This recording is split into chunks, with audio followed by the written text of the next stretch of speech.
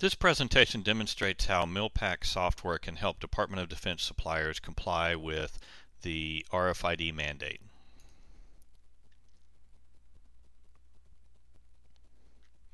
MILPAC software easily prints RFID labels, RFID embedded in standard MIL Standard 129 container labels so you print and apply fewer labels, or generic RFID labels for maximum flexibility.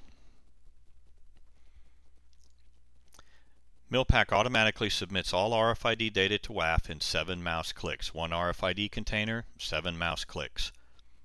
100 RFID containers, 7 mouse clicks.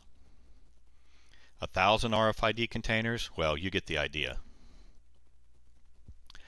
DoD RFID compliance is easy with MILPAC technology. Here's how it works. Print the RFID tags, submit the RFID data across the internet to WAWF.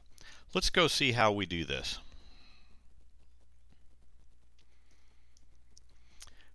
First, we'll print the RFID labels.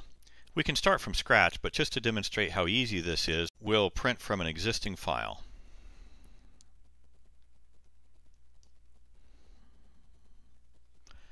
We'll print generic RFID tags. Generic tags have no contract, shipment, or part information printed on them, so you can use one of these on any box you want. Double-click the label you want to print.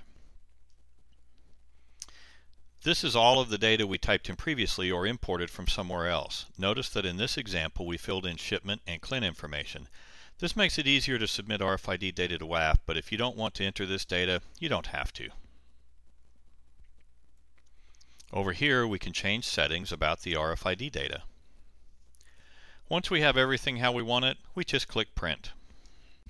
Here are the labels that we printed. The RFID data is automatically encoded to the tag and printed on the label. Now that we've printed our RFID labels, it's time to submit the data to WAWF. Before we submit the RFID data, let's take a look at it.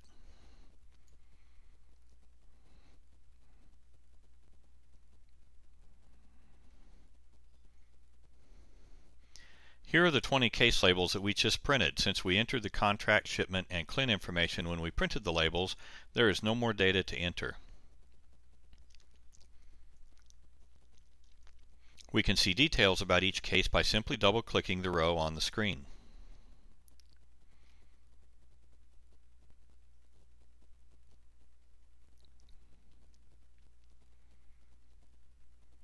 We can print a pack report if we want to see all the shipment RFID data on paper.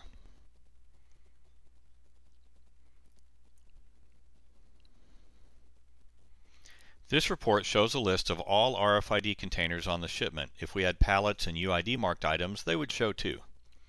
Okay, here come the seven mouse clicks I promised you. We pick our shipment, review the shipment details,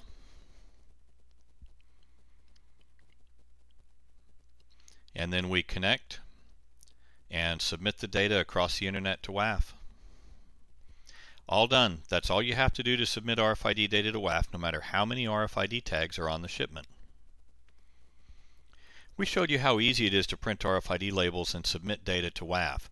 MILPAC can also print and submit pallet RFID labels and submit UID data. See our other presentations for more information. Thank you.